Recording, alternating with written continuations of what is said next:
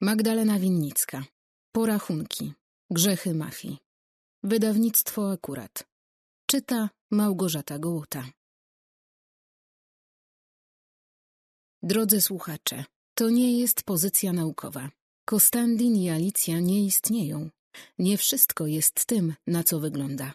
Miłej zabawy. Prolog. Rozpoczęły się negocjacje z Wiktorem, które opóźniły wydanie drugiego tomu. Spotkałam się z nim parokrotnie, zarówno w ciemną noc, jak i w biały dzień. Za pierwszym razem z udawanym spokojem patrzyłam, jak dojrzały, siwowłosy mężczyzna przekracza próg mojego biura. Jego dostojny chód i zadbany wygląd sprawiły, iż pomyślałam, że jest przystojny, nawet z tą głęboką blizną na policzku. Szybko przeszedł do rzeczy, wyrywając mnie z obserwacji. Wbiło mnie w fotel na widok najprawdziwszej broni, z której do mnie wycelował. Do tej pory o gangsterskim świecie słyszałam jedynie z opowieści Alicji, które spisałam w książce Kostandin – Grzechy mafii. Zaczęłam z powrotem oddychać dopiero po dłuższej chwili. Musiałam mocno się skupić, by w tamtym momencie sobie przypomnieć, że przecież jestem nietykalna. Powiedzmy, że przestałam się go bać, a przynajmniej byłam w stanie to sobie wmawiać. To on powinien przede mną pękać i chociaż nie pokazywał tego po sobie, z pewnością tak było. W końcu wiedziałam o nim wszystko. Zastanawiam się, co było dla mnie gorsze. Dowody pogrążające go we własnym środowisku, czy te świadczące o tym, że stał za najgłośniejszymi zbrodniami, o których mówił cały świat. To był zdecydowanie zły kierunek myśli. Mogłam się uspokoić, bo miałam go w garści, ale rosło we mnie napięcie, bo siedziałam w jednym pomieszczeniu z najniebezpieczniejszym bandziorem. Dopiero kiedy pomyślałam o martwej Alicji, w moje ciało wstąpiła odwaga. W jednej chwili chciałam go zniszczyć. Nienawidziłam go i byłam zła na siebie, bo podjęłam się negocjacji. Zaczęło się od tego, że opowiedział mi o dniu, w którym jego cyngiel przez nieporozumienie strzelił Alicji w głowę. Potwierdził tym moje wcześniejsze przypuszczenia, bo choć improwizowałam, pisząc zakończenie pierwszego tomu, okazało się ono prawdziwe. Wiktor nie miał wątpliwości. Alicja zginęła na miejscu i w tym momencie nie pocieszał mnie fakt, że Kosta wciąż jest po tej stronie. Byłam zdruzgotana. Zostały mi odebrane resztki nadziei, że moja mała przyjaciółka, cała i zdrowa, wyleguje się gdzieś w tropikach. Chciałam natychmiast rzucić się na Wiktora i udusić go gołymi rękoma, patrząc w te pozbawione człowieczeństwa oczy. Chciałam jego niehumanitarnej śmierci. Chciałam, by cierpiał długo i zdechł od razu. Pragnęłam go pogrążyć posiadanymi informacjami, ale to oznaczało, że musiał pozostać żywy jeszcze trochę, a ja nie mogłam tego znieść. Jeśli skończyłaś mnie już dźgać w myślach, to wróćmy do interesów, powiedział lekceważąco. Twój Kosta, kolejny raz wypowiadając jego imię, parsknął śmiechem. Jeszcze żyje i jeśli chcesz, by tak pozostało, wiesz, co robić. Albo raczej, czego nie robić. To jedno zdanie spowodowało, że Wiktor dalej chodził po ziemi. Warunkiem, jaki mu postawiłam w zamian za nieupublicznianie treści platynowej róży, miał być Kostandin i jego nietykalność. Doszliśmy do porozumienia, kiedy Wiktor obiecał, że go odnajdzie i przyprowadzi do mnie, a następnie odpuści i się ulotni. Nie wiedział wtedy, że nieistotne było, co zrobi. Zamierzałam wydać drugą książkę bez względu na to, czy dotrzyma swoich obietnic. Miałam gdzieś własne słowo honoru, które mu dałam. Alicja wpoiła mi swój cel, którym było zniszczenie go. Pokochałam ją i zamierzałam oddać jej cześć. Najpierw jednak postanowiłam cierpliwie czekać, aż Wiktor znajdzie Kostę, choć szczerze wątpiłam, że naprawdę miał tak na imię. Właściwie to nie wątpiłam. Ja byłam pewna, że moja mała Alicja podała mi fałszywe imiona. Lena W. Rozdział pierwszy. On. Brawo, Kruszynko. Pomyślałem, kiedy zmyśliła, że ma tę pierdoloną różę. Patrzyłem na wuja, wiedząc już, że dla tego przedmiotu zaryzykuje i wypuści nas. Nie myliłem się. Uniósł ręce w geście poddania i usłyszałem dobrze mi znany świst. Świst pocisku. Spojrzałem w prawo na siedzącą pod autem żonę, której wzrok momentalnie zgasł. Umarłem. Wszystko przestało istnieć. Byliśmy tylko ja i ona i głośny szum, który zaatakował nie tylko moje uszy, ale także głowę. Moje serce zatrzymało się, ciało zesztywniało, a nogi same pokonały dzielący nas dystans. Padłem na kolana, chwytając jej postrzeloną głowę w obie ręce.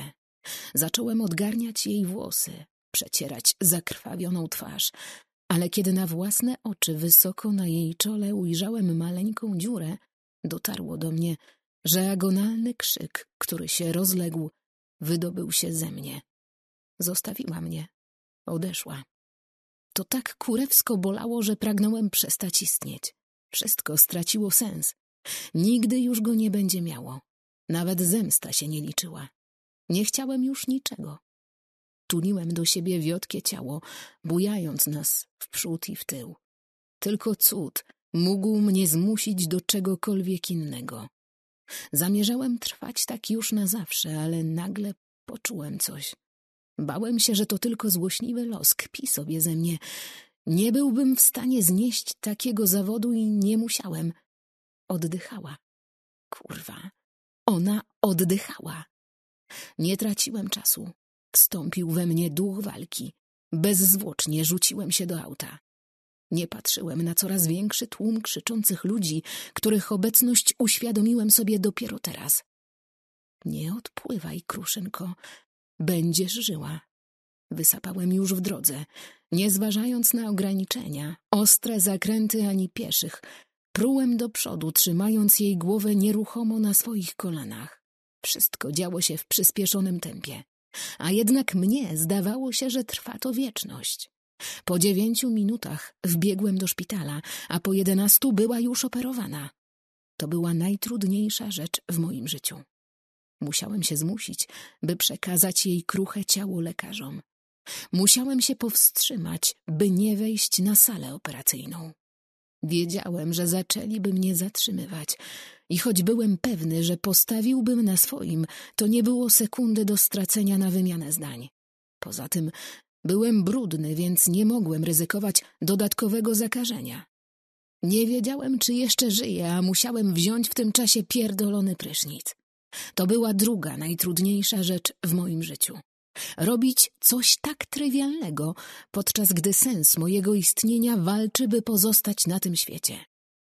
Obijałem się w kabinie, trzykrotnie lądując na kolanach. Nie mogłem stabilnie stać. Nogi trzęsły się pode mną, kiedy w pośpiechu szorowałem ciało.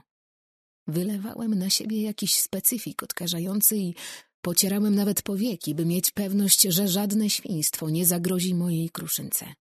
Kiedy mózg nasuwał mi myśli, że gdy następnym razem ją zobaczę, będzie przykryta czarnym workiem, zaczynałem wrzeszczeć i walić w płytki, byle tylko je zagłuszyć. Zawsze umiałem wyciszać swój umysł, trzymać pion w traumatycznych chwilach, ale dzisiaj, pierwszy raz, zostałem pokonany. Wizja, że ona nie żyje, atakowała każdą komórkę mojego ciała. Nie panowałem nad własnym umysłem. Musiałem ją zobaczyć. Tylko to mogło mi pomóc, żebym nie rozsypał się teraz w proch. Nie traciłem więc czasu na wycieranie się. Zapakowałem się od razu w sterylny kombinezon i pędem ruszyłem na salę operacyjną. Wariowałem, bojąc się, że nikt mi nie otworzy. Nie byłem w stanie czekać ani sekundy. Wielogodzinna operacja nie była czymś, co dałbym radę przetrwać za tymi drzwiami. Oczywiście bez problemu mógłbym dostać się do środka, ale tutaj nie mogłem pozwolić sobie na moje niekonwencjonalne metody. Przestraszenie lekarzy, którzy teraz potrzebowali precyzyjnych ruchów swoich palców, nie wchodziło w grę. Wystarczyło, że moje łapy trzęsły się tak mocno, że nie musiałem pukać. Chodziły same, stukając w drzwi. Kiedy te uchyliły się nieznacznie, a zamaskowana osoba spojrzała na mnie zaskoczona, nie zapanowałem nad emocjami. Nie byłem w stanie wypowiedzieć tego pytania, dlatego sam sięgnąłem po odpowiedź. Pchnąłem jedno skrzydło. Musiałem tylko zobaczyć, że nie ma tam worka. Żyję. Jęknąłem, długo wypuszczając z płuc powietrze. Wszystko wyglądało jak z koszmaru. Nie widziałem jej, bo była pokryta zielonymi materiałami, które tworzyły namiot. Jedyną odkrytą część ciała zasłaniała sylwetka medyka, którego strój zlewał się z parawanami. Z tego widoku mogłem jedynie wywnioskować, że praca trwała, a to znaczyło, że ona żyje. Żyje. Powtarzałem w myślach, walcząc o każdy kolejny oddech. Żyje. Będzie żyć. Nic jej nie będzie. Pocisk przeleciał tylko przez lewą półkulę mózgu, a strzał był z małej odległości. Proszę być dobrej myśli. Ludzki mózg potrafi wytrzymać zadziwiająco dużo. Aż 49% takich przypadków przeżywa i wychodzi bez szwanku. Pocieszył mnie kierujący oddziałem urazowym lekarz, tym samym próbując zmusić mnie do opuszczenia sali. Zostaję. Warknąłem, nie dając za wygraną. Nie będę przeszkadzał, zapewniłem, ale kiedy nagle dojrzałem otwartą czaszkę mojej małej kruszynki, zrobiłem krok z powrotem na korytarz i zacząłem żygać jak kot. Proszę iść na antresolę, schodami po lewej. Rzucił za mną ten sam facet, który otworzył mi drzwi. Teraz je zamykał. Kurwa, skup się, stary. Rozkazałem sobie, próbując się podnieść. W życiu nie byłem bardziej chory. Oczy wywracały mi się na drugą stronę, a żołądek wirował. Zalewały mnie zimne poty. Pojawiała się gorączka. I tak na zmianę, ale to nie było w stanie mnie teraz obezwładnić. Musiałem być silny.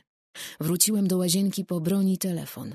Na krótką chwilę skupiłem myśli na konkretach i wykonałem kilka połączeń. Krążyłem nerwowo, bo z jednej strony chciałem załatwić priorytetowe sprawy, a z drugiej pragnąłem, by te rozmowy się już skończyły.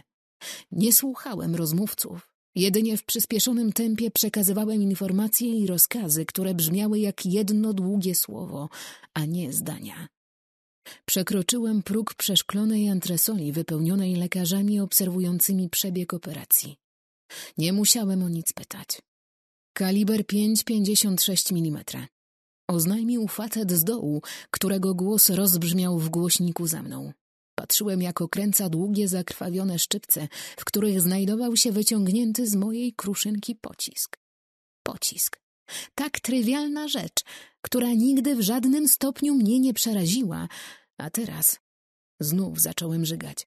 Nie rozumiałem specjalistycznego języka, którym operował lekarz, tłumacząc kolejne czynności. Właściwie słyszałem bełkot. Mózg miałem z tej samej waty co ciało. Proszę, powiedział młody facet, podając mi chusteczkę i kubek. Dziękuję. Skorzystałem z jego szczupłej ręki, by wstać z podłogi i usiąść na krześle. Wiesz, co on mówi? Co to wszystko znaczy? Powiedz, że nic jej nie będzie. Musi pan być dobrej myśli i czekać. Nic więcej nie może pan zrobić. Nic więcej nie mogę zrobić. Powtórzyłem, odwracając wzrok od szyby. Myślałem, że jestem twardy. Myliłem się. Patrzenie, jak grzebią jej w głowie, było ponad moje możliwości. Faktycznie nie mogłem nic zrobić. Byłem bezradny. Chciałem chociaż krzyknąć do tych z dołu, że oddam im cały majątek za jej życie, ale wiedziałem, że to nie zmotywuje ich bardziej. Powiedziałem to od razu, gdy wbiegłem do tego uniwersyteckiego szpitala. Teraz mogłem się jedynie cieszyć, że kiedyś, kiedy wybierałem te okolice, miałem mózg na właściwym miejscu. Liczyłem, że nigdy nie będzie potrzeby, by korzystać z tego miejsca, ale byłem przezorny. Wolałem mieć zapewnioną furtkę bezpieczeństwa, którą stanowili specjaliści różnych dziedzin. Skomplikowana, nieplanowana operacja na otwartej czaszce nie byłaby możliwa w praktycznie żadnym innym szpitalu. Proszę pana, obudził mnie jakiś głos. Ktoś szarpał mnie za rękę. Zanim się zorientowałem, że leżę na antresoli przykryty kocem, przez szybę zobaczyłem, że stół operacyjny jest pusty. Jak mogłem zasnąć? Poprzedniej nocy, tej samej, w której ludzie wuja ostrzelali nasz samochód, gdy wracaliśmy z nocnego cyrku, nie zmrużyłem nawet oka, ale to nie było dla mnie wystarczającym usprawiedliwieniem. Co się dzieje? Gdzie ona jest? Ogarnęła mnie panika. Czułem, jak znów zbiera mi się na wymioty. Od poznania odpowiedzi, przekonania się, czy sam umarłem, dzieliło mnie jedno zdanie. pieprzone ułamki sekund. Doktor Brunswick chce pana widzieć. Kurwa, powiedz mi, że żyje. Warknąłem. Nie mogłem poczekać na rozmowę. Musiałem wiedzieć. Żyje, ale proszę o resztę pytać lekarza prowadzącego. Jest na sali pooperacyjnej numer 12. Zaprowadzę pana. Nie dałem mu dokończyć. W trzech długich krokach przeszedłem przez pomieszczenie, a następnie, potykając się o własne nogi, niemal zleciałem ze schodów. Nerwowo szukałem wzrokiem pokoju numer 12. Wleciałem od razu do środka i złapałem się za głowę, ciągnąc mocno za włosy. Poddali się, pomyślałem. Nie uratowali jej.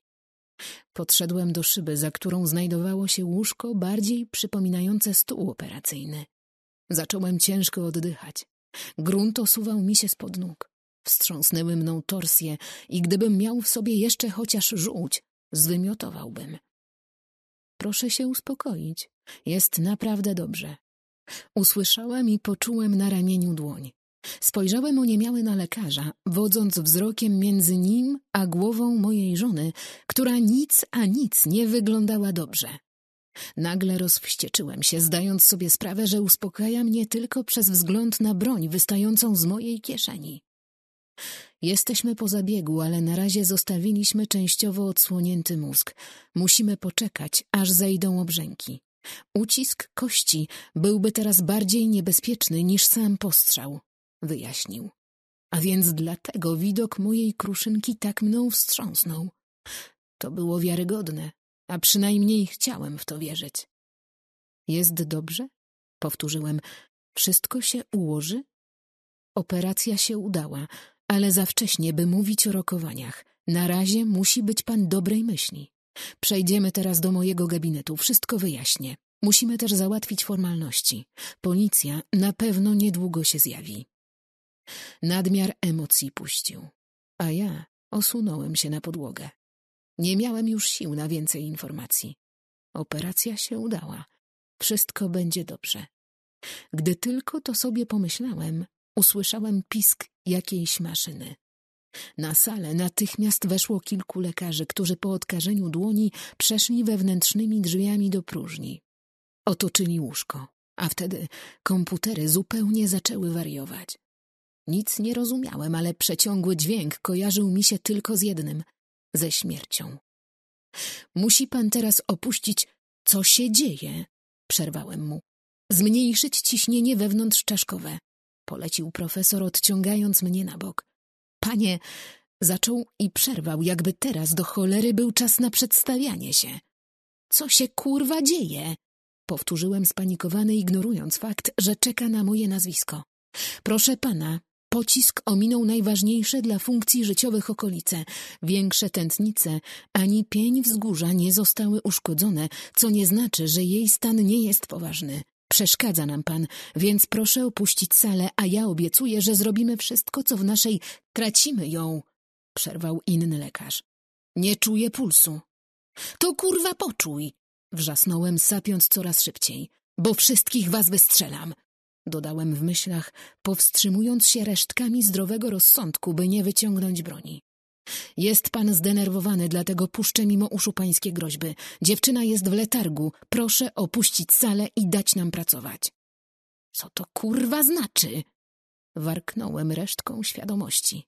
Miałem już tak nabity ciśnieniem łeb, że z trudem odróżniałem rzeczywistość od wizji rozpieprzenia wszystkiego. To śmierć pozorna, wytłumaczył facet z za szyby. Ten sam, który przed chwilą panikował, że nie czuje pulsu. Ciekawe, czy wiedział, że od jej życia zależy życie ich wszystkich. Proszę wyjść, wybełkotał. Licja? Wyrwałem do siadu, otwierając szeroko oczy. Od razu wiedziałem, że to nie był tylko koszmar, choć moje wspomnienia to jakieś przeskakujące kadry. Kompletny chaos. Ostatnie, co pamiętałem, to przekroczenie własnego punktu wytrzymałości, który musiał się skończyć utratą przytomności. Jest w śpiączce, ale wyjdzie z tego. Złapałem pierwszy oddech, a potem wypuściłem go z głośną ulgą. Słowa marnie wyglądającego kuzyna były tym, czego potrzebowałem, żeby chcieć wstać. Budynek jest zabezpieczony, ale nie możemy tu zostać. Ściągnąłem doktora Briana Foxa. Oświadczyłem, przypominając sobie o wszystkich wykonanych wczoraj w pośpiechu telefonach. To jeden z najlepszych neurologów na świecie. Powinien niedługo przyjechać. Ty zbierz ekipę. Zabieramy Licję stąd do Szwajcarii, jak tylko poskładają jej głowę. Udało mi się wynająć tam stary szpital. Chłopaki już działają, żeby go przystosować. Uczepiony nadziei próbowałem myśleć trzeźwo. Rodzice wiedzą? Zapytałem, wkładając w pośpiechu ubrania, które mi przyniósł. Nie, zostawiłem ich tobie i już ci współczuję. Mają świadomość, że stało się coś złego. Mieliście być wczoraj punkt siedemnasta, a jest już dzisiaj, w dodatku wieczór. Nie spali całą noc, jak my wszyscy. Matylda wyrywa sobie włosy, a Wera prawie poroniła, jak się dowiedziała. Kurwa. Czułem, jak wracają do mnie całe wkurwienie i niemoc, których nigdy dotąd nie odczuwałem w takim stopniu. Zapierdolę go. Zapierdolę jak jeszcze nigdy nikogo. Będzie błagał o śmierć przez rok, zanim własnymi rękoma wyciągnę mózg z jego łba. Może lepiej serce. Mózg nie posiada receptorów bólowych, więc nawet najgłębszy jego uraz nie będzie bolesny, bardziej niż skaleczony palec. Rzucił jakiś facet, który nieoczekiwanie przekroczył próg pokoju. Doktor Brian Fox przedstawił się, podając mi dłoń. Wyciągnę ją z tego. Dodał z pewnym siebie uśmiechem. Wyglądasz jak wampir. Spojrzałem na niego pytająco. Gdyby nie jego zapewnienie, prawdopodobnie wyżyłbym się na nim. Pękły ci wszystkie żyłki w oczach, wyjaśnił. Rozdział drugi. On. Operacja zamykania czaszki się udała. Minął tydzień, a ona wciąż pozostawała w śpiączce. Norweska policja węszyła, była coraz bardziej natrętna, a my potrzebowaliśmy teraz spokoju. Zorganizowałem transport do Szwajcarii, gdzie stary szpitalny budynek został przygotowany i doposażony dla potrzeb mojej kruszynki. To było trudne. Przenosiliśmy ją, jakby była martwa, do pojazdu, z którym miałem jedno z zabawniejszych wspomnień. Mercedes V, klasa Lounge, w limitowanej wersji Black Crystal. Byliśmy razem na prezentacji prototypu w Genewie. Wydawało mi się wtedy, że moja mała zachwycała się luksusowym wnętrzem jak dziecko. Dlatego zamówiłem nam ten samochód. Zrobiła mi poważną awanturę. Nie chodziło nawet o rozrzutność, ale o to, że zaczynała się obawiać pokazywać tę swoją szczerą radość. Patrzyłem na nią zdumiony. To było przezabawne. Wściekała się równie szczerze, co cieszyła. Nie rozumiałem jej problemu. Jak zacznę się zachwycać pompą wielotłoczkową w układzie hydraulicznym w koparce Bobkata, to też ją kupisz? Zapytała zupełnie poważnie i założyła ręce na piersiach, czekając na odpowiedź. Tak, kruszynko. Zaniosłem się śmiechem, kiedy uświadomiła mi powód swojej radości i złości. Okazało się bowiem, że wcale nie zachwycała się jak małe dziecko, ale jak profesjonalistka. Łykała wszystkie nowinki z branży. To było zarówno jak zboczenie zawodowe, jak i pasja. Chodziła dookoła, zaglądała pod maskę, studiowała części i bardziej od całego pojazdu cieszyłaby się z samego silnika tej maszyny. Obiecałem jej wtedy, że zrezygnuję z zamówienia, ale zwyczajnie o tym zapomniałem. Kiedy kilka miesięcy później wóz został mi dostarczony, musiałem go schować, by ukryć dowody, że pierwszy raz w życiu nie dotrzymałem słowa. Kto by pomyślał, że będę musiał wyciągać szerokie, rozkładane fotele, by do przestronnego wnętrza wjechało łóżko z całym arsenałem aparatur i dwoma lekarzami. Podróż z Norwegii do Szwajcarii była wycieńczająca. Prowadziłem znacznie poniżej dopuszczalnej prędkości, zachowując szczególną ostrożność. Taki dystans nie był wskazany w jej stanie, ale nawet lekarze przyznali mi rację, że prywatnie jestem w stanie zapewnić jej lepsze warunki niż te, które oferuje publiczna służba zdrowia. Moja biedna mała córeczka, zawyła Matylda, łapiąc jej bezwładne dłonie. Upewniła mnie, że podjąłem dobrą decyzję, pozwalając jej dopiero teraz zobaczyć córkę. Błagam, pomóż jej, zauchała. Potem już tylko milczała. Z każdym dniem, który nie przynosił nic nowego, pogrążała się coraz bardziej w żalu. W żalu do mnie. Kiedy niecałe dwa tygodnie temu w brutalny sposób dowiedziała się, że nie jestem tylko właścicielem dyskotek, błagała mnie, bym rozwiódł się z jej córką.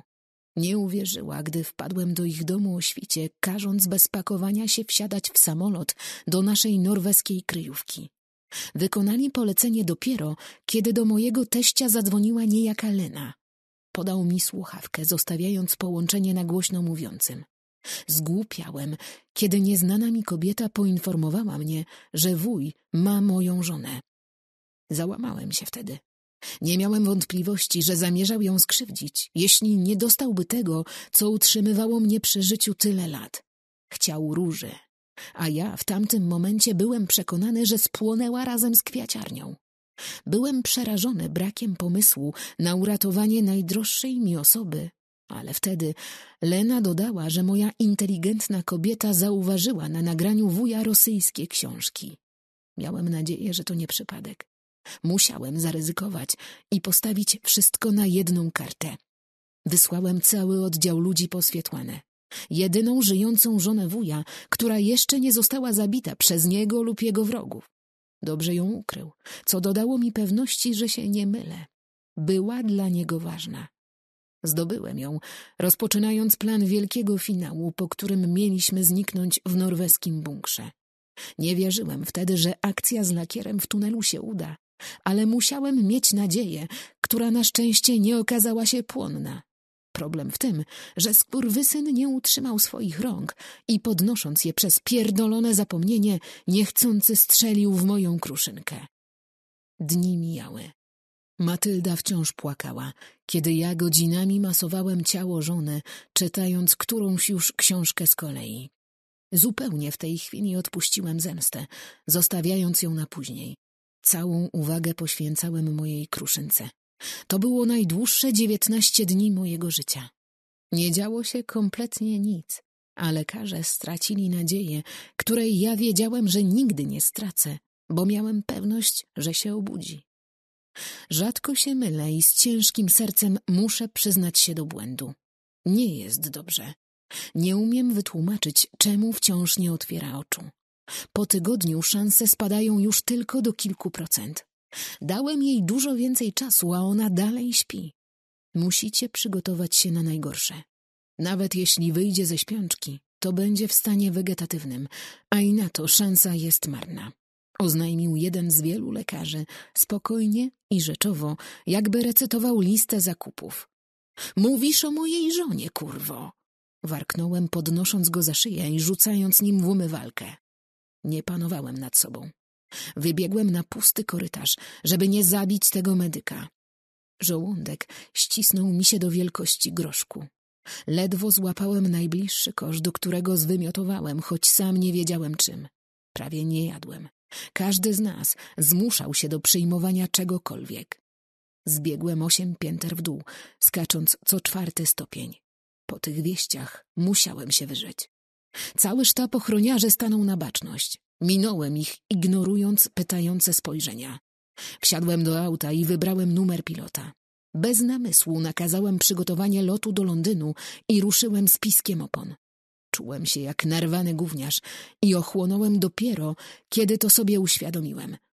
Zawróciłem i zanim wszedłem z powrotem do szpitala, wyciszyłem złość. Panowie, wyjeżdżam na kilka dni. Wiem, że oczy z tyłu głowy macie zawsze, więc tylko przypominam, żebyście ich nie zamykali. Informujcie mnie o wszystkich podejrzanych ruchach, nawet jeśli uznacie, że są bezpodstawne i fałszywe. Przejechałem wzrokiem po trzydziestoosobowej grupie facetów, którzy zgodnie przytaknęli i skierowałem się do windy. Matylda! Warknąłem ostrzegawczo na mamę mojej żony, patrząc jak stoi nad łóżkiem. Przestań wyć! Wiem, że jest ciężko, ale ona cię potrzebuje. Ja muszę wyjechać na kilka dni. Możesz mnie wyręczyć i mówić do niej zamiast płakać? Ona słyszy. Rozumiesz? Patrzyłem zrezygnowany, jak kobieta zamyka oczy, by powstrzymać łzy. Matyldo, spróbuj poczytać jej książkę. Do masaży będą przychodzić obcy ludzie, ale to nie oni powinni z nią rozmawiać. Ona potrzebuje bliskich. Ty, Bartosz i Wera macie do niej mówić, jak mnie nie będzie. Oczywiście. Jedź, powiedziała w końcu, a ja widziałem na jej twarzy niedokończone zdanie. I nie wracaj. Pocałowałem swoją śpiącą królewnę i pojechałem na lotnisko. Przez pięć dni szukałem skurwysyna. Miałem przy sobie dwukrotnie więcej osób niż kiedykolwiek, ale on jakby zniknął z powierzchni planety. Wyparował. Każdego dnia zabijałem tuzin ludzi, ale nikt nic nie wiedział. Byłem sfrustrowany. Patrzyłem na płonącą posiadłość wuja i zastanawiałem się, co dalej. Gdyby nie telefon od Wery, może wysadziłbym całe miasto. Wracaj. Szybko. Wyłkała. Ledwo zrozumiałem jej słowa, ale ich znaczenie nie było istotne, tylko sposób, w jaki je powiedziała. Zamarłem, wiedząc, co to oznacza. Moja mała kruszynka nie żyje. Nie mogłem oddychać. Dusiłem się. Wyjąłem broń, odbezpieczyłem i zacząłem przyglądać się lufie. Rodzice podpisali zgodę na eutanazję. Dobiegł mnie głos w słuchawce i od razu chciałem pokazać tę lufę komuś innemu. Bezradność wyparowała. Zalała mnie fala niewyobrażalnego wkurwienia. Będę za trzy godziny. Rozłączyłem się, myśląc, że ich wszystkich rozkurwię. Ryknąłem na całe gardło i pobiegłem do auta. Wrzałem i nie uspokoiłem się ani w drodze na lotnisko, ani w czasie lotu. Wpadłem do szpitala. W oczach miałem śmierć. Moi ludzie odsunęli się, tworząc tunel do windy. Byłem zbyt wkurwiony, by bezczynnie nią jechać. Wbiegłem po schodach. U góry szybko zlokalizowałem teścia. Poszedł na pierwszy ogień. Niewiele myśląc, zacząłem pięściami okładać Bartosza, ostatecznie nokautując go z bani. Złamałem mu nos. Byłem skłonny rzucić się na Matyldę, która wybiegła z sali razem z Weroniką, ale dziewczyna wbiła się we mnie gorzko płacząc. Objąłem ją, próbując ochłonąć na tyle, żeby nie zabić baby, która śmiała nazywać się matką mojej żony. Kiedy na korytarz wyszedł doktor Brian, niby ten najlepszy z najlepszych, wyjąłem broń. W dupie miałem konsekwencje. Nie myślałem. Zatraciłem się we własnym świecie. To nie jego pomysł, wycedziła Wera. To ta nowa grupa specjalistów, których ściągnąłeś wczoraj. Ich diagnoza była jednoznaczna. Gdzie oni są? Warknąłem. Poszli na obiad. Poszli na obiad? Poszli kurwa na obiad. Uśmiercili mi żonę i poszli na pierdolony obiad? Zwróciłem się do Matyldy, ryczącej nad swym mężem. Wy nawet kurwa nie macie prawa do zgody na pierdoloną eutanazję. A ty, Bartosz, masz szczęście, że nie złamałem ci nosa z przemieszczeniem. Uspokój się, zaciągnęła Matylda, łykając tabletki. Oni wyjaśnili nam, że zabijamy jej duszę, która cierpi okropne męki. Tylko tak możemy jej pomóc. Dać spokój jej duszy. Napiąłem się, kipiąc z wściekłości. Gdy mijałem kobietę, złapałem jej policzki i ścisnąłem je z całej siły. I nie przyszło wam do tych naćpanych głów, że po tych pierdolonych psychotropach może i trzymacie się lepiej, ale nie umiecie racjonalnie myśleć? Oboje popatrzyli na mnie przepraszającym, a zarazem przerażonym wzrokiem, jakby dopiero dotarło do nich, że mam rację. Odstawcie to chujostwo. Ona się obudzi. Wszedłem do sali i patrząc na swoją kruszynkę, myślałem tylko o tym, jak bardzo za nią tęsknię. Chwyciłem jej dłonie i zacząłem przykładać je do swojej twarzy. To miało być kojące, ale wpadłem w szał. Złapałem ją za ramiona i zacząłem ją potrząsać, a potem całować i znowu trząść. Ściągnąłem swoją koszulę i rozpiąłem jej piżamę. Położyłem się obok i przytuliłem do ukochanej, łącząc nasze ciała. Nie wiem, ile spałem, ale cud, na który liczyłem, nie wydarzył się. Wstałem zrezygnowany, a ta rezygnacja tylko nakręciła moją determinację.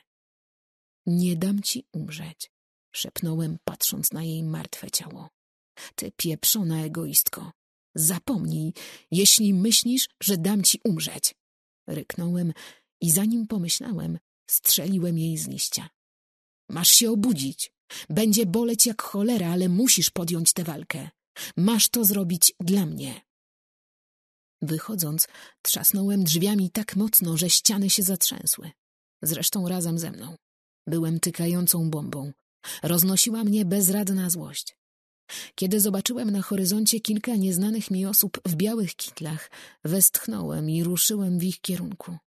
Miałem ochotę wyciągnąć broń i po prostu zabić ich szybko, jednego po drugim, by zapomnieć o tym incydencie z eutanazją. Rzuciłem im wściekłe spojrzenie, zamaszystym ruchem zapraszając na rozmowę. Wcisnąłem przycisk przywołujący windę.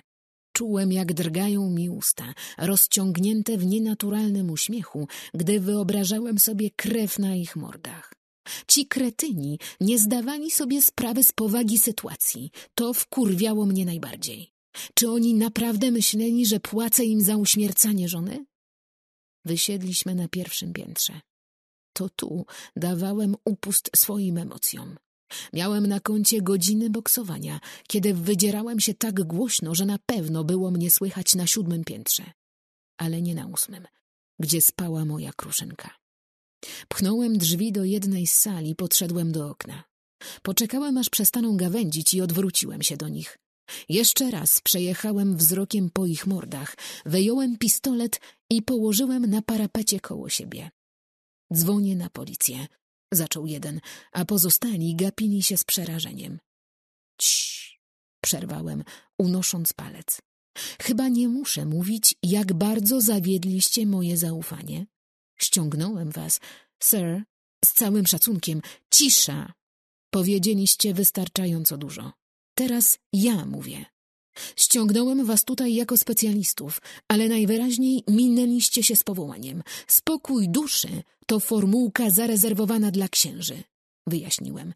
Zanim was tu ściągnąłem, odrobiłem zadanie domowe. Mógłbym, a nawet powinienem was teraz zabić. Nie ujdzie ci to na sucho. Nie masz pojęcia, jak bardzo się mylisz. Dlatego radzę ci zamilknąć i posłuchać. Jeśli myśleliście, że funduję wam wycieczkę po Szwajcarii, to już wiecie, że nie. Macie dziesięć minut, żeby opuścić szpital. Moi ludzie odwiozą was na lotnisko. Samolot macie za godzinę. Nie odpuszczę wam. Tego możecie być pewni. Wisicie mi ogromną przysługę i odezwę się, by ściągnąć dług. Zanim przyjdzie wam do głów jakiś głupi pomysł, a wiem, że macie najlepsze predyspozycje do takich, pamiętajcie, że macie rodziny. Wyjąłem telefon i zacząłem czytać. Laura, Adele, Gia, Jennifer, Amanda, Kimberly, Walter, Noah, Peter, Dirk i Lucas nie chcieliby płacić za błędy swoich ojców, mężów, synów i dziadków. Nie myślcie, że kogoś pominąłem.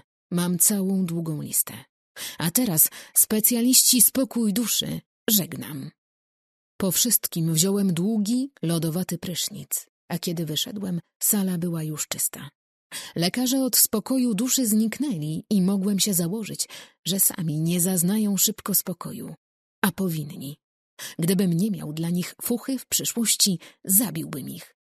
Może nie tu i teraz, ale jutro, za miesiąc, w ich własnych domach, w samochodzie. Ludzie umierają każdego dnia. Ochłonąłem na tyle, że teraz zmęczenie dało o sobie znać. To oczywiste, że kiepsko sypiałem. Miałem wyrzuty sumienia, że w ogóle zamykałem oczy. Powinienem działać, a nie spać. Wcześniej co róż ściągałem kolejnych specjalistów. Ci najnowsi, zamiast pomóc, chcieli ją jeszcze dobić. Tkwiłem w miejscu. Nic mi nie wychodziło. Nie mogłem sobie poradzić z tą pierdoloną bezradnością. Musiałem coś wymyślić. Musiałem zabić czas, bo bezczynne oczekiwanie, aż samo się coś wydarzy, zabijało mnie.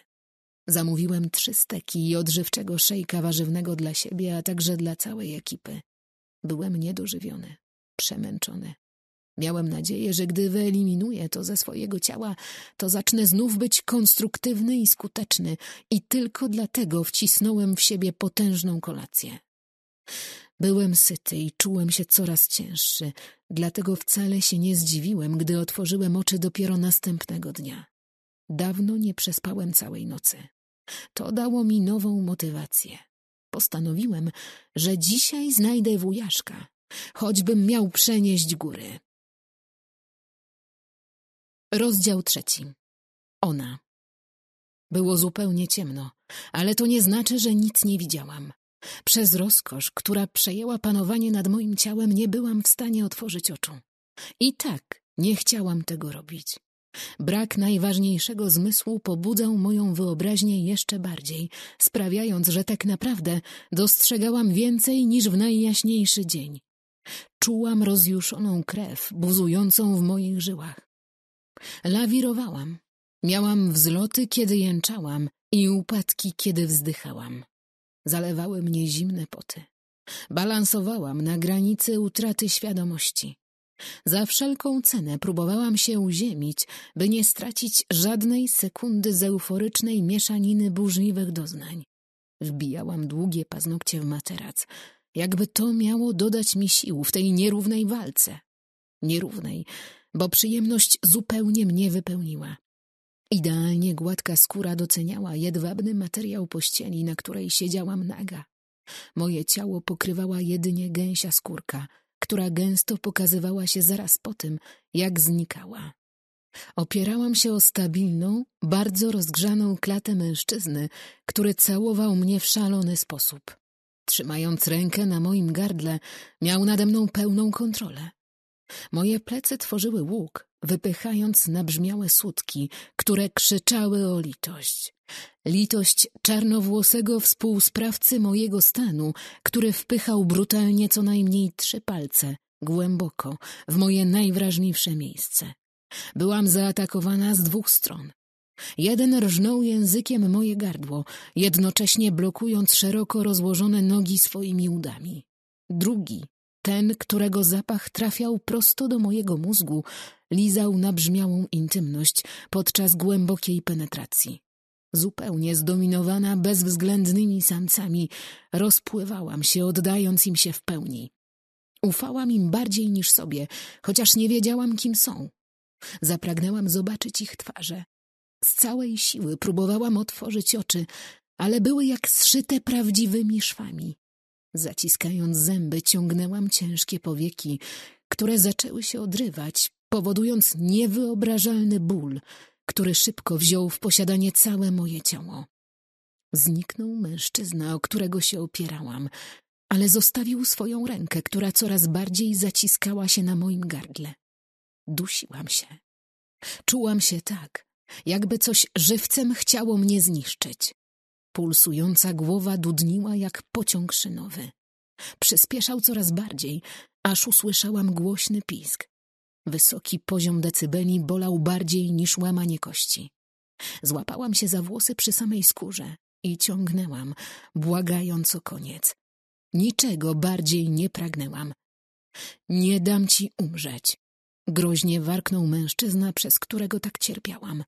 Gdyby nie pokusa, by zobaczyć jego twarz, nie uruchomiłabym fali, która zapoczątkowała ból. Objął mnie tak mocno, że czułam, jak zaciśnięte mięśnie powoli odpuszczają, a ja staję się coraz lżejsza. Najpierw minęła okrutna katorga, pozostawiając po sobie jedynie mrowienie, a po chwili nie czułam już nic. Robiło mi się coraz bardziej błogo, ale coś nie pozwalało mi odpocząć. To wspomnienie bólu, którego bałam się najbardziej na świecie. Za nic nie chciałam poczuć go jeszcze raz. Gdy zobaczyłam oślepiający punkt gdzieś daleko przed sobą, byłam już taka zmęczona. Szłam w stronę światełka mimowolnie. Przyciągało mnie swoim ciepłem, które było tak kojące jak ostre słońce po wyjściu z zimnego morza. Miałam pustą głowę. Nie myślałam o niczym, idąc przed siebie. Tym bardziej zdziwiłam się, kiedy poczułam siarczyste uderzenie, po którym mocno zapiekł mnie policzek. Ty pieprzona egoistko! Krzyknął brutal, którego twarz wciąż była na tyle nieostra, że nie mogłam go zobaczyć. Byłam go ciekawa, ale nie tak bardzo jak bramy, którą miałam na wyciągnięcie ręki. Niewiele myśląc, położyłam dłoń na klamce i wzięłam głęboki oddech, wiedząc, że za chwilę wszystkie problemy miną bezpowrotnie. Poczułam mocne szarpnięcie, jakby wciągała mnie czarna dziura, ale to zdecydowanie na nią nie wyglądało. Zapomnij, jeśli myślisz, że dam ci umrzeć, powiedział mężczyzna, pod którym leżałam. Ten sam mężczyzna. Jego płonący wzrok był pełen wściekłości, jak u samego diabła. Patrzyłam w jego czarne źrenice jak zahipnotyzowana i oślepiła mnie seria fleszy. Były jak bolesne uderzenia w przeponę. Błysk. Obraz dziadka miotającego się w płomieniach. Uderzenie w przeponę. Ból. Błysk. Obraz smutnej dziewczynki z zaklejonym okiem. Uderzenie w przeponę. Ból. Błysk. Ta sama dziewczynka leżąca martwa w moich ramionach. Uderzenie w przeponę. Ból. Błysk. Krew. Uderzenie w przeponę. Ból. Masz się obudzić. Będzie boleć jak cholera, ale musisz podjąć tę walkę. Masz to zrobić dla mnie. Rozkazał mężczyzna, przerywając moją katorgę i w końcu ukazał się przede mną w całej okazałości. Miałam jego wyraźny obraz przed oczami. Tak dokładny, że widziałam każdy pieprzek. Oczywiście, znałam go i nie rozumiałam, jak mogłam nie poznać go po głosie, zapachu, po dotyku. To przecież mój cudowny, kochany mąż, Aleksander. Otworzyłam szeroko oczy, biorąc bardzo długi i głęboki wdech, jakby to było pierwsze zaciągnięcie powietrza w moim życiu. Tak w istocie było. Albo właśnie się urodziłam, albo wyrwałam się samej śmierci. Albo on mnie wyrwał. Mój mąż, którego dokładny obraz jeszcze przed chwilą miałam przed oczami, a teraz nie mogłam przypomnieć sobie koloru jego oczu. Ale to wszystko jest porąbane. Przecież ja nawet nie mam męża. Tłumaczyłam samej sobie. Nie wiedziałam, co jest snem, a co rzeczywistością, dopóki wszystko nie zaczęło się rozmazywać coraz bardziej. Za moment próbowałam przypomnieć sobie, o czym przed chwilą myślałam. Na próżno. Nagle, jak na pstryknięcie palców, w głowie pojawiła się zupełna pustka. Trochę jak pobudka po imprezie z urwanym filmem. Nie ma szans na przypomnienie sobie czegokolwiek. Impreza z okazji obrony. O cholera, ale musiałam się spić. Oślepiona ostrym światłem, próbowałam się rozejrzeć, nie obracając głowy, która nie mogła nawet drgnąć. Zmrużyłam oczy, ale nawet przez lekko uchylone powieki nic nie udało mi się dostrzec. Byłam jedynie pewna tego, że nie mam kontroli nad własnym ciałem. Zupełnie odrealnione przeżycie. Walczyłam siłą umysłu, by dostrzec cokolwiek, ale szybko poddałam się, zamykając oczy. Byłam zbyt zmęczona. Miałam nadzieję, że to wszystko to jakiś sen, jednak coraz bardziej docierało do mnie, co mogło się wydarzyć. Ostatnie, co pamiętałam, to wino, które wypiłam ze znajomymi z roku po wczorajszej obronie tytułu inżyniera. Nie byłam zalana, kiedy kładłam się do swojego łóżka, ale ktoś może wsypał mi do kieliszka narkotyki, które zaczęły działać z opóźnieniem. O matko, a jeśli moje wino było na bazie metanolu i straciłam wzrok? Byłam coraz bardziej przerażona i zmęczona. Nie mogłam podnieść powieki nawet na chwilę, by sprawdzić, czy dalej widzę tylko ostrą jasność. Błysk. Obraz dziadka miotającego się w płomieniach. Uderzenie w przeponę. Ból. Błysk. Obraz smutnej dziewczynki z zaklejonym okiem. Uderzenie w przeponę. Ból. Błysk. Ta sama dziewczynka leżąca martwa w moich ramionach. Uderzenie w przeponę. Ból. Błysk. Krew. Uderzenie w przeponę. Ból. Obudziłam się i natychmiast przypomniałam sobie, jak chory sen miałam. Uśmiechnęłam się w duchu, ale nie odważyłam się jeszcze otworzyć oczu. Chciałam się najpierw przeciągnąć. Wtedy zapomniałam o uśmiechu. Nie mogłam się ruszyć. Jedynie serce pracowało i to coraz dynamiczniej. Ogarnęła mnie panika, ale niemal od razu została stłumiona przez całkowity spokój, ulgę. To na pewno jest sen, pomyślałam i podniosłam powieki. Tak, to na milion procent sen. Gdybym była ślepa, widziałabym ciemność, a nie jasność, prawda? Poza tym przecież nic się nie wydarzyło. Obroniłam się, napiłam i położyłam spać. Nie spotkałam po drodze Sebastiana. O, a to kolejny dowód na to, że śnie. W myślach, ale wypowiedziałam imię swojego ex, a przecież odkąd mnie zdradził i pobił, nigdy sobie jeszcze na to nie pozwoliłam. Uspokoiłam się i czekałam na pobudkę. To był jeden z tych bardziej męczących snów, po których trzeba odespać. Chciałam usłyszeć już budzik. Wiedziałam, że minęło dopiero kilka minut, ale to były bardzo długie minuty. Sforsowały mnie na tyle, że jasność przed oczami pociemniała. Po serii mrugnięć zamieniła się w mgłę, pod którą już prawie widziałam jakiś obraz. Mrugałam, próbując złapać ostrość. Nawet nie wiem, kiedy się poddałam i zasnęłam w tym dziwnym śnie. Błysk. Obraz dziadka miotającego się w płomieniach. Uderzenie w przeponę. Ból. Błysk. Obraz smutnej dziewczynki z zaklejonym okiem. Uderzenie w przeponę. Ból. Błysk. Ta sama dziewczynka leżąca martwa w moich ramionach. Uderzenie w przeponę. Ból. Błysk, krew, uderzenie w przeponę, ból i pobudka. Czekając w bezruchu ćwiczyłam wzrok, który pozwalał mi ujrzeć zamazany, ale w porównaniu do poprzedniego całkiem wyraźny obraz. Byłam pewna, że nie znam tego miejsca. Przestronny, chyba pusty pokój z oknem po prawej. Na parapecie na całej długości stały czerwone kwiaty, zapewne moje ulubione róże. Wszystko inne zdawało się białe, ale nie byłam pewna, czy to niezbyt duża ilość światła powodowała taki efekt. Usłyszałam coś. Skierowałam wzrok na lewo. Mały, srebrny przedmiot. To klamka, domyśliłam się. Powoli zaczęła opadać. To było tak flegmatyczne, że tylko upewniłam się, że śnie. Z ciekawością patrzyłam na długo otwierające się drzwi, w których pojawiła się postać. Mrugałam tak długo, aż obraz złożył się i zauważyłam mamę z torbami w rękach. Nie widziała mnie. Wchodziła tyłem, żeby poradzić sobie z klamką, jednocześnie nie puszczając siatek. Pomyślałam sobie, że ten sen jest zupełnie niedorzeczny. Postanowiłam go trochę rozkręcić, bo lubię sny, w których mogę świadomie wpływać na bieg akcji, szczególnie kiedy jest tak nudno, że można zasnąć. Ironia. Cześć. Wypowiedziałam niby normalnie, ale okazało się, że z moich ust wydobył się dziwny bełkot, który zdecydowanie nie przypominał tego, co miał. Nie wiem, kto przeraził się bardziej, ja czy mama. Pisnęła ze strachu i podskoczyła tak wysoko, że chciało mi się śmiać. Okazało się jednak, że to nie jest takie proste. Nie wydobywał się ze mnie chichot, który miałam w głowie. Niczego nie rozumiałam z tego chorego snu, tym bardziej, że moja rodzicielka miała minę, jakby co najmniej zobaczyła tarantulę na mojej twarzy. Upuściła zakupy, w których bez wątpienia było dużo rzeczy ze szkła. Okropny hałas zadźwięczał mi w głowie, rozsadzając ją.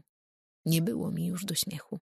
W życiu nie pomyślałabym, że dźwięk może tak boleć.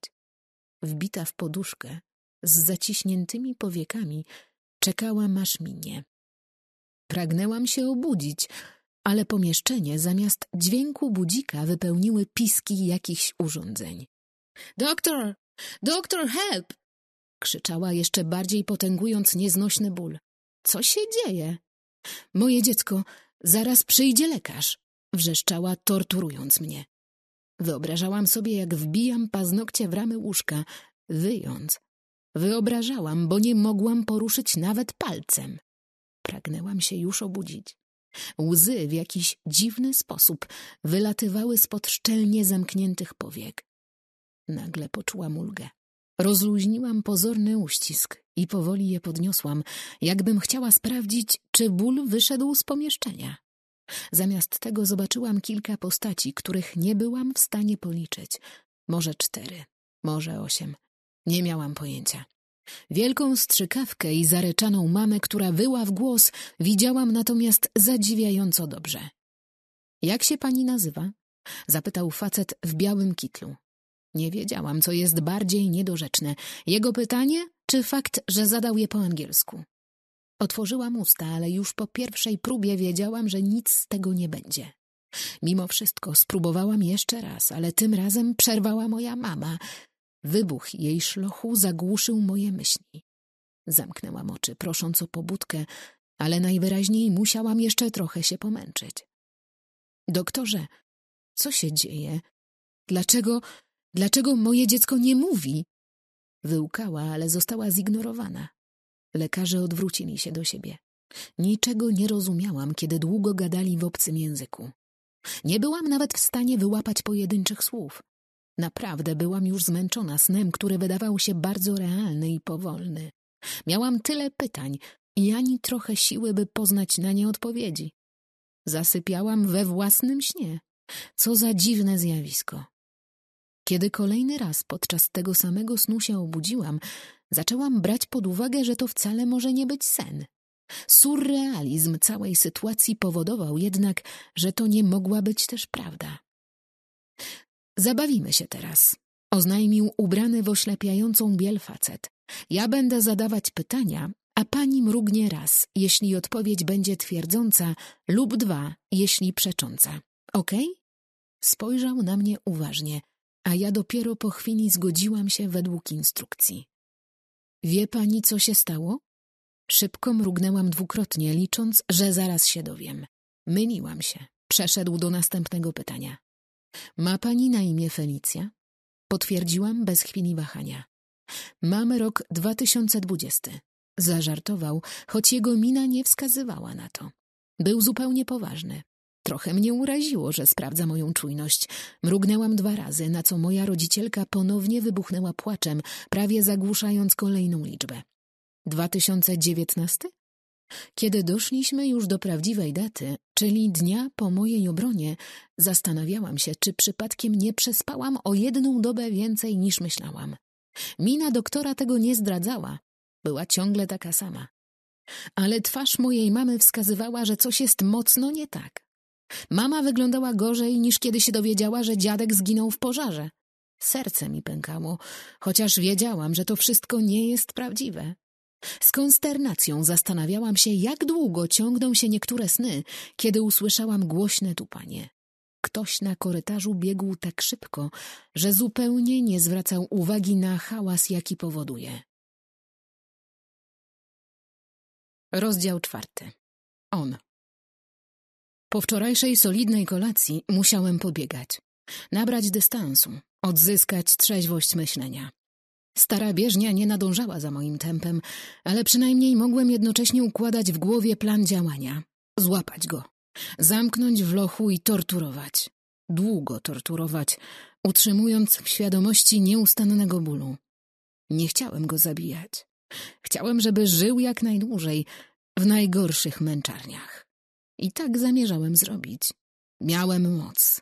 Nie byłem do końca sobą, ale wiedziałem, że po tym, co się wydarzyło, nigdy już nie będę taki sam. W każdym razie wróciłem na właściwe tory. Cześć, Wera. Prawie krzyknąłem z podekscytowania, odbierając telefon.